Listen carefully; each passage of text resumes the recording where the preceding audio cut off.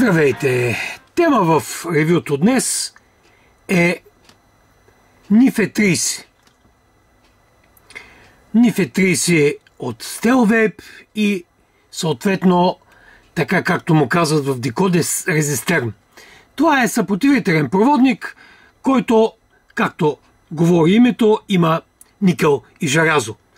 Никела е около 68%, 30% е жаразото, алуминий има 0,6%, манган 0,5% и хром 0,3%. Примерно, в различни конфигурации. Така, а, популярен е за това, че може да се ползва в температурен контрол. Но има разлики между него и между другите материали за вейп, които са температурно зависими. Най-напред ползването и работата му до 1300 градуса по Целзий го прави доста по-гъвкав от никъла. Защото никъла знаем, че не издържа на такава висока температура. Така, Нифе 30 има висок температурен коефициент при относително високо съпротивление. Най-вече го използват за, за тел за температурно зависими резистори. Така, Дикодес популяризират проводника NIFE 30 под името Резистерм и го ползват в а, модулите си Extreme версия 2, ако не се лъжа беше първия. А, така, той се ползва с призвание по най-различни причини, една от които е премахване на, на вкуса от а, Ени 200. Ени 200 това е съпротивителен проводник, който има много добър коефициент на, на температура, така наречения ТЦР. Температура ко- коефициент на съпротивлението означава в превод.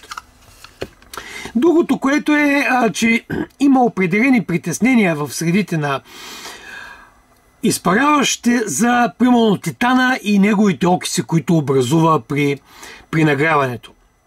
Разбира се, Дикодес не произвеждат резистерм, Техните проводници са от а, Изаберен Хют, Германия. Това може да се види на PDF от страниците. Но аз ще се концентрирам тук върху Stelvape United Kingdom и техния NIFE 30. Първо заради ниската цена и второто заради факта, че са положили чрезвичайни усилия да направят точен профил за него за ДНА. Така, какво представлява Нифе 30 на Stealth Vape?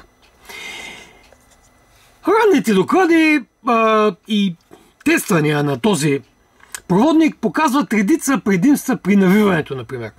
А, лесно се използва, защото е, има ковкост. За разлика от а, закарената и отгрета версия на Ени 200, той е по-малко пружиниращ.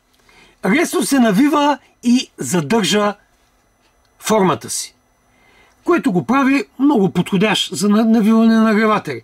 Така, специално има, аз лично не го препоръчвам за навиването на микрокоери. При навиването на микрокоери средната част на нагревателя се загрява малко по-силно и това може да породи сериозни проблеми в генерацията на а, нужната температура. Става въпрос в двата края ще бъде по-студено от средната температура, а в средата ще бъде по-топло от средната температура. Тази разлика ще създаде а, ужасно пропадане на вкуса. Така. За какво е интересен Нифе 30. Той има около 4 пъти по-голямо съпротивление от никъла, което означава по-малко навивки. А, така няма да се чудим как да напъхаме голяма намотка в малък дек. Например, например насочвайки се към 0,15 сома, използвайки 0,4 мм с вътрешно фи 3 мм, това се равнява на 16 навивки от Ени 200. Тук са 7 навивки от Нифе 30 и 3 навивки от Титан G1. Виждате разликата, заради която се ползва най-вече Нифе 30. И разбира се, не само това. А, трябва да отбележа, и трябва добре да запомните, че Нифе 30 на Stelvape в температурен контрол се ползва само с устройства с чипове на ДНА на Evolve. И разбира се с подходящи декодес модове, които също ползват Нифе 30, само че не му казват Нифе 30, а му казват резистерно. Това е разликата и много тънки нюанси, които после ще ви кажа. Така, а, също може да се ползва в устройства, които имат, как да го кажа, настройка за частотата на никъл. Защото е близко до, до никъла. Нека да не забравяме, че никъл е 68% тук. Така, чистота на никъл означава, че има ръчен ТЦР, който избирайки профил с никъл, може в малки граници да коригираме стойността. Така, разбира се, Нифе 30 предлага елиминиране на сухите дръбки, както всички нагреватели с а, температурен контрол или така наречените температурно зависими проводници. Но а, Конфигурацията от сплъвта, която всъщност представлява нифетрици, е много удачна за вейпари, които имат алергии към а, разни метали. Има всякакви неща. Както има алергии към а, пропилен гликола, така има алергии и към някои метали. Това е положението. За съжаление, човек е така устроен. Така, много е важно да се отбележи, че не всички жици нифетриси са еднакви. Различните продукти от различни доставчици, категоризирани като нифетриси, може да имат различни профили на съпротивлението и различни температурни коефициенти. Така, хубаво е при закупуването на такъв проводник да се обърнем към там, откъдето го купуваме, към продавача, надявам се и към производителя, и да видим там какви данни той дава за, собствен, за своите собствени изделия. Така, ето, например, а, това е Ени 80. Това е Ени 80. Нифе 80. Това е Нифе 48. Тук има Нифе 70. А, това е Ени 80 друго. Това е никър и хром. Тук желязо няма. Така, но ето виждате 70 и 48. Това е също нифе. Само, че в различни с различни проценти на използваните материали в справта. Така, а, още един, едно важно нещо искам да а, да ви подчертая. Надявам се, надявам се да не ви ставам досаден, но това са важни неща, които трябва да се знаят. Просто трябва. Работим и с температурен контрол. Така, искам да ви обясна и за разликата между ТЦР и ТФР. Това са две съвсем различни понятия. Едното е ТФР е температурен фактор на съпротивлението, а ТЦР е температурен коефициент на съпротивлението. Има съществена разлика между температурен фактор и температурен коефициент. Някои материали просто не могат да следват линейното ТЦР. Така че ТФР се основава на измервания и наблюдавани промени в съпротивлението при различни температури. И вместо права черта имаме една изменена линия. Ето и снимки, за да ме разберете точно какво искам да кажа.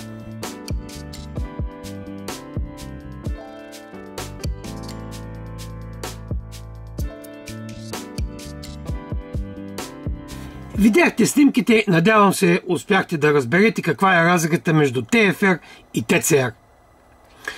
Така, защо започнах този целият разговор а, натрисайки ви продуктите на Stelvape. По една единствена много проста причина. Stelvape United Kingdom са се постарали да създадат, да създадат индивидуални, прецизни ТФР за техните съпротивителни проводници.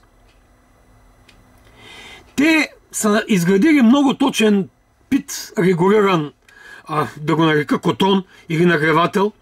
И там в а, окачени в баня с силиконово масло съпротивления са измервани съпротивленията на различните намотки при различни температури. Използвани са платени датчици, ПТ-100, също и а, двойки, катип, записвани са температурите от минус 17 до 0 градуса и от 25 до 300 градуса през 25 градуса стъпка.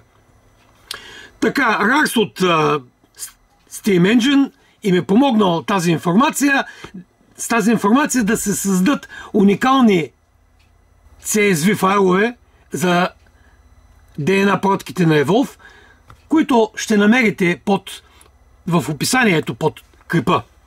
Тези профили, така наречените, или CSV файловете, те могат да се инсталират в DNA. И по този начин ще имаме абсолютно точно прецизиране на температурния контрол с тези профили, които са направени от производителя специално за този проводник. Ето за това през цялото време ви насочвам на там. Разбира се, може да използвате и, а, и резистерм, ако искате. А ако намерите такава крива за резистерм на Дикодес, някой да е направил точно такава крива. А тук имаме крива направена от производител. Разбира се, и те ни си произвеждат сами жиците, но са ги направили по поръчка. И след това от произведената жица са направили съответните профили. Това имам предвид с целия този разговор. Разбира се, ако нямате такъв мод, който има чип на Evolve DNA, може да ползвате или изобщо не, няма TFR, може да ползвате въвеждането на TCR ръчно. Различните модули по някой път по различен начин реагират на тези а, числа. А, например, на NI200, а, който обикновено фактор е TCR е 6000, някой път се вежда 6, някой път 0,006. Зависи как го е избрал съответният производител на мода.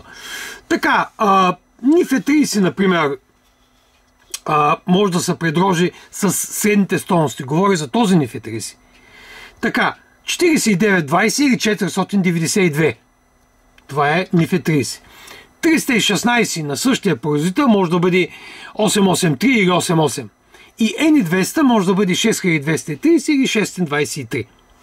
Така, всеки други проводници, като Кантал, въпросния Нихом, който ви показах, Нихом 80, те имат много нисък ТЦР и не могат да работят в режим температурен контрол. Разбира се, великата пратка Evolve, примерно 250 цето, а, във фирма RSI има а, може да се ползва функцията Replay с а, никел хромови намотки. С различна степен на успех. Като се активира настройката разрешаване на съмнителни намотки в ескрайба. Ние обаче до там чак няма да стигнем и ще се концентрираме върху това. Готов съм да направя и една проба. Тук ще бъде Typhoon GTR, пробното свинче – ще направим един нагревател с NIFE 30 и ще ви покажа характеристиките в Escape. Ето и теста. NIFE 30 4 мм, 0,4 мм, т.е. обмокраме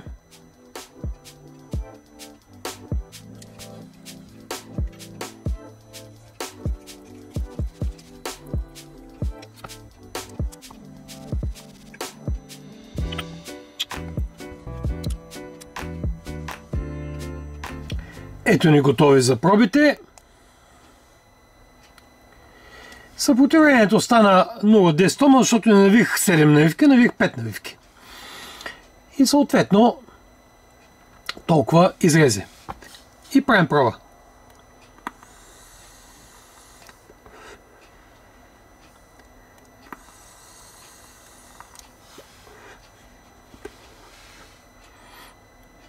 30 вата при подгрев на 25 вата.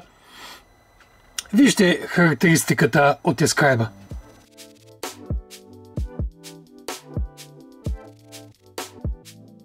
Така, видяхте характеристиката, видяхте какво казаха цифрите. А, чудесна работа в температурен контрол.